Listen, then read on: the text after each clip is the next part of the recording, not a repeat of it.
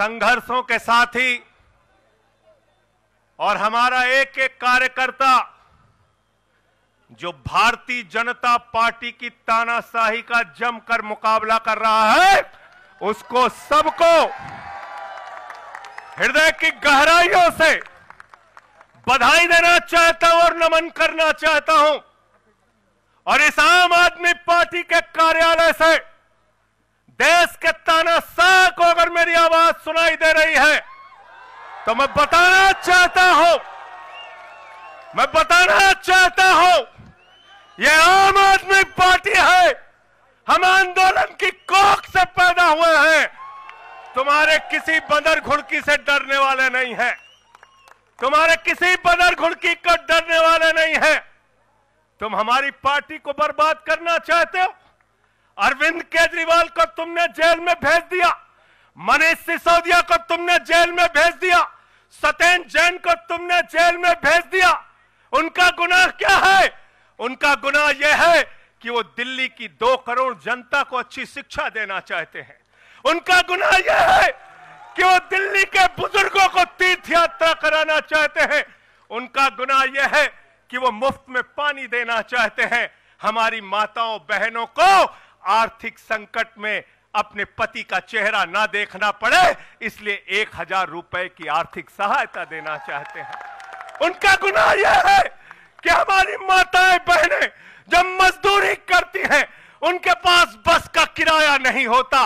एक ऑटो वाले की बेटी जो कॉलेज जाती है, उसके पास बस का किराया नहीं होता। उनका गुनाह यह है कि अरविंद केजरीवाल कहते हैं, हमारी बेटियों को, हमारी माताओं को बस की यात्रा के लिए एक रुपए नहीं देना पड़ेगा।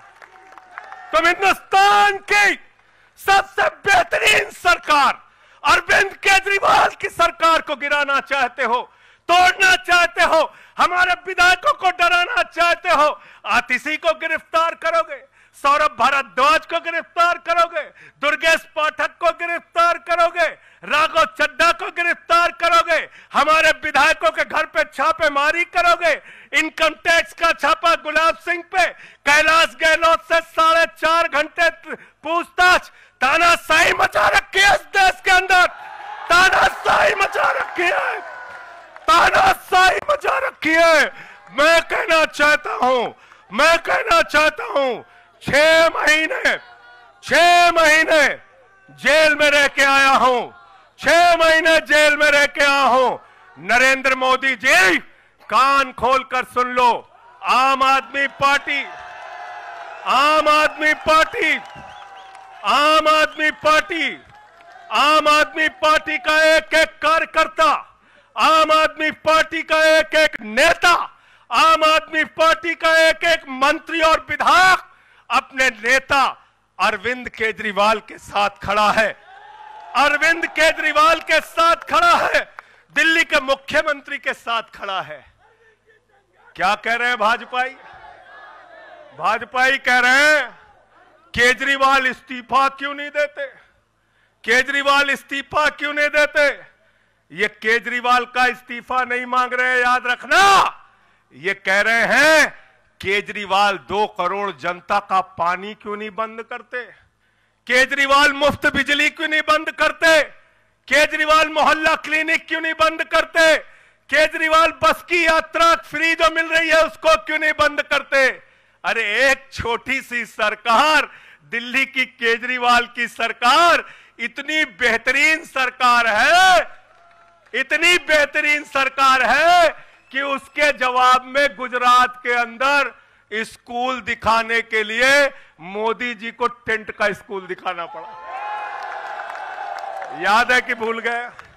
आतिशी जी, याद है ना? याद है ना? याद है ना? आप एजुकेशन मिनिस्टर हैं, आपने देखा होगा। हमारे कार्यकर्ताओं ने कहा, अच्छे स्कूल बनाएँगे, अच्छे स्कूल बनाएँगे। जहाँ पर मुख्यमंत्री थे नरेंद्र मोदी जी उन्होंने कहा, केजरीवाल के टक्कर का स्कूल हमको दिखाना है। तो उन्होंने कृत्रिम स्कूल तैयार किया, टेंट वाला। टेंट वाला स्कूल तैयार किया। हमने दिल्ली के अंदर टेंट वाले स्कूल की जगह एयर कंडीशन कमरों का स्कूल तैयार किया। और नरेंद्र मोदी ने 25 साल गुजरात में भाजपाइयों के शासन के बाद टेंट वाला स्कूल तैयार किया। इस्तीफा दे दो भाई। कल को भगवंत मान को गिरफ़्तार कर लो, कह दोगे इस्तीफा दो। वो केरला के मुख्यमंत्री विजयन, उनकी बेटी पे जाँच शुरू कर दी। कहेंगे, विजयन जी इस्तीफा दो। ममता बनर्जी जी के भतीजे पे जाँच शुरू कर दी। कहेंगे, ममता बनर्जी जी इस्तीफा दे दो। तो इस देश के कानून में कहते हो, मुख्यमंत्री और आम आदमी बराबर है। तो जरा मुझे बताइए, सोमनाथ भारती कानून के जानकार हैं? क्या प्रधानमंत्री को कानून में छूट है? कानून में छूट है क्या? छूट है क्या? अरे कल को एक मुकदमा मोहाली में लिखा जाएगा, दो दरोगा वहाँ से आएगा, एक मुकदमा झारखंड में लिखा जाएगा, तीन दरोगा वहाँ से आएगा, एक मुकदमा एक मुकदमा तमिलनाडु में लिखा जाएगा, पाँच दरोगा पाँच मुकदमा बंगाल में हमारी ममता दीदी लिख लेंगी तो दस दरोगा वहाँ से आ जाएँगे। दस दरोगा आ जाएँगे और मोहाली और रोपड़ वाला दरोगा आएगा। कहेगा, नरेंद्र मोदी जी घर पे हैं।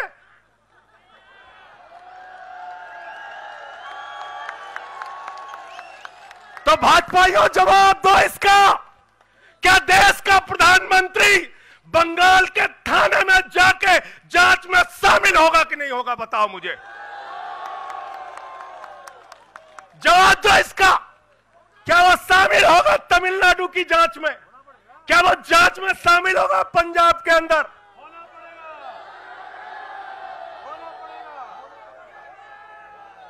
दरोगा, डीएसपी, एसपी, इन्हीं विपक्ष के राज्यों से। रेवंत रेड्डी के राज्य से सिद्धारमैया के राज्य से पहुँच गए गृह मंत्री अमित शाह के घर में बोले, अमित शाह है? उससे पूछताछ करनी है। कहेंगे, हम तो गृह मंत्री है। बोलो, गृह मंत्री तो सब समान है। इसलिए भाजपाइयों, ये नौटंकी हमारे साथ मत खेलो। तुम्हारी सारी चालबाजियों को हम लोग समझते हैं। अरविंद केजरीवाल बिल्कुल इस्तीफा नहीं देंगे। और दिल्ली की दो करोड़ जनता के, दिल्ली की दो करोड़ जनता के लिए काम करेंगे। दिल्ली की दो करोड़ जनता के लिए काम करेंगे। कहते हैं, चिट्ठी कैसे लिखेंगे? छह महीने जेल में रह के आया भाई। छह महीने जेल में रह के आया। आतिशी जी, कैलाश गहलोत के पास जेल विभाग है। उनसे पता कर लीजिएगा, मैंने तो डीपीआर भी पढ़ा। संजीव झा को रास्ते में बता रहा था। जेल मैनुअल में लिखा है, कोई भी व्यक्ति जेल में रह के असीमित चिट्ठियाँ लिख सकता है, असीमित। पढ़ लेना। पता नहीं हमारे मीडिया वाले क्यों नहीं पढ़ पाते? बहस चल रही थी। केजरीवाल सरकार कैसे लिखेंगे, कैसे चलाएँगे, चिट्ठी कैसे लिखेंगे? असीमित चिट्ठियाँ लिख सकते हैं आप, असीमित, उसकी कोई लिमिट नहीं है। और अगर कोई सरकारी चिट्ठी लिखनी है तो कोर्ट से परमिशन। और अगर और सरकारी चिट्ठी को एक मिनट, सुन लो बात, और कोई सरकारी चिट्ठी लिखनी है तो जेल सुपरिंटेंडेंट उस चिट्ठी पे मोहर लगा के उसको अटेस्ट कर देता है। अटेस्ट कर देता है। पढ़ लेना। सारे कानून तो तुम लोग जेल भेज भेज के पढ़वा दे रहे हो हम लोगों को। सारे कानून पढ़वा दे रहे हो। सारे कानून पढ़वा दे रहे हो। मैं एक ही बात कहना चाहता हूँ, इनका जवाब देने का वक्त आ गया है। मोदी जी क्या कहते हैं? मोदी जी कहते हैं, भ्रष्टाचारियों को छोड़ूँगा नहीं, भ्रष्टाचारियों को छोड़ूँगा नहीं। भ्रष्टाचारियों को छोड़ूँगा नहीं। पूरब से लेकर पश्चिम तक उत्तर से लेकर दक्षिण तक जितने भ्रष्टाचारी हैं सबको भाजपा में शामिल करूँगा। गलत तो नहीं कह रहा भाई। गलत तो नहीं कह रहा। रात में 10 बजे किस जज्बे के साथ हमारा कार्यकर्ता ललकार रहा देखो मोदी जी! देखो आखिर देखो ये आम आदमी पार्टी के कार्यकर्ता है देखो! देखो ललकार रहा ये। ये ये तुम्हारे ये तुम्हारे बंदर गुड़की से डरेगा? ये तुम्हारी बंदर गुड़की से डरने वाला है? भाज, भाजपाइयों की बंदर घुड़की से एक कार्यकर्ता हमारा डरने वाला है? लाठी चलाओगे ना? लाठी चलाओगे? तुम्हारे पास जितनी मज़बूत लाठी है, उससे मज़बूत हमारे कंधे हैं, उससे मज़बूत हमारे सीने हैं। उससे मज़बूत आम आदमी पार्टी का एक एक कार्यकर्ता का जज्बा है। लाठी चलाओगे। कहते हैं, भ्रष्टाचारियों को नहीं छोड़ूँगा एक एक भ्रष्टाचारी को शामिल करूँगा। मुझे आतिशी जी, भाजपा के कार्यकर्ताओं पे बड़ी दया आती है। सौरभ भाई, बहुत दया आती है। बेचारे आसाम में तैयार हुए वाटर घोटाला वाटर घोटाला वाटर घोटाला। बुकलेट तैयार की। लाठी से उसको छह महीने तक बांटा कि हेमंत विश्व शर्मा का भ्रष्टाचार है, हेमंत विश्व शर्मा का भ्रष्टाचार है। लाठी खाए, जेल में गए। गोपाल राय जी, क्या हुआ उसके बाद? क्या हुआ? कार्यकर्ता जुलूस निकाल रहा था। मोदी जी, हेमंत विश्व शर्मा को गले लगा रहे थे। गले लगा रहे थे। वो रोने लगा, उसने कहा, अरे, इसने तो वाटर घोटाला किया है। बोले, कुछ नहीं, अब हमारा भाई है। उसको मुख्यमंत्री बना दिया। उसको मुख्यमंत्री बना दिया।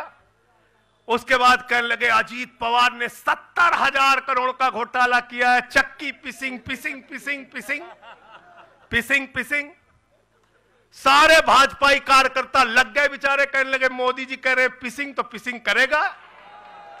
अब वो सब कार्यकर्ता बेचारे नारा लगा रहे थे, पिसिंग पिसिंग पिसिंग, तब तक पता चला उसको भी गले लगा लिया। पिसिंग पिसिंग की जगह कहने लगे मिक्सिंग मिक्सिंग मिक्सिंग मिक्सिंग फिर कहने लगे, हसन मुशरिफ चीनी घोटाला किया है सौ करोड़ का। फिर कहने लगे, छगन भुजबल ने महाराष्ट्र सदन का घोटाला किया है। और तो और ये भाजपाइयों, इनको शर्म नहीं आती, कहते राष्ट्रवादी हैं। कह रहे थे, आदर्श घोटाला किया है, हमारे जवानों का पैसा खाया है, ये किया है, वो किया है। आदर्श घोटाले के खिलाफ भाजपा का कार्यकर्ता लाठी का रहा था। आदर्श घोटाले वाले मुख्यमंत्री को उठा के राज्यसभा में भेज दिया भाजपाइयों ने। भाजपाइयों ने अशोक चौहान को भेज दिया। वहाँ गए, कहने लगे, शारदा स्कैम किया, नारदा स्कैम किया। मुकुल राय सुबंधु अधिकारी को भाजपा में शामिल कर लिया। तो मैंने भाजपाइयों के लिए नारा बनाया है। जो जितना बड़ा भ्रष्टाचारी, वो उतना बड़ा पदाधिकारी। जो जितना बड़ा भ्रष्टाचारी, वो उतना बड़ा पदाधिकारी। भाजपा का पदाधिकारी। भाजपा का पदाधिकारी। मैं भाजपाइयों के लिए मैंने बोला, गोपाल भाई। भाजपाइयों के लिए नारा बनाया स्पेशली। जेल में खाली थे, कुछ तो काम करना था। जो जितना बड़ा भ्रष्टाचारी, वो उतना बड़ा पदाधिकारी है। और और भाजपाई जब भ्रष्टाचार के खिलाफ बोलते हैं तो ऐसा लगता है ओसामा बिन लादेन अहिंसा पे उपदेश दे रहा है। सूप बोले तो बोले, चलनियों बोले जैसे बहत्तर छेद। भाजपा भ्रष्टाचार के खिलाफ बोलेंगे। भाजपा केजरीवाल के खिलाफ बोलेंगे। भाजपा बोलेंगे, जिस आदमी ने आईआरएस की नौकरी को लात मार के भारत की जनता की सेवा करने का संकल्प लिया, जिस आदमी ने तेरह दिन तक भ्रष्टाचार के खिलाफ आंदोलन चलाया, पंद्रह दिन तक का अनशन रखा। जिस आदमी ने पूरे देश को जगाने का काम किया, आम आदमी को ताकत देने का काम किया, आप उसके ईमानदारी के ऊपर सवाल उठाते हैं, कहते हैं, भ्रष्टाचार के खिलाफ बोलोगे भाजपाइयों तुम? तुम बोलोगे? तुम बोलोगे? भारतीय जनता पार्टी वो पार्टी है, हिंदुस्तान की एकमात्र पार्टी, याद रख लेना। जिस पार्टी का राष्ट्रीय अध्यक्ष भारत माता के रक्षा सौदे में रिश्वत खाते हुए रंगे हाथों पकड़ा गया। कौन पकड़ा गया था? पंकज भाई, कौन पकड़ा गया था? बंगारू लक्ष्मण। बंगारू लक्ष्मण। वो कौन था?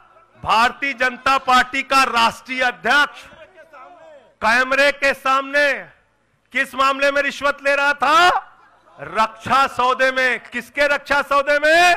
भारत माता के रक्षा सौदे में। इनके दफ्तर में फ़ोटो लगा उसका।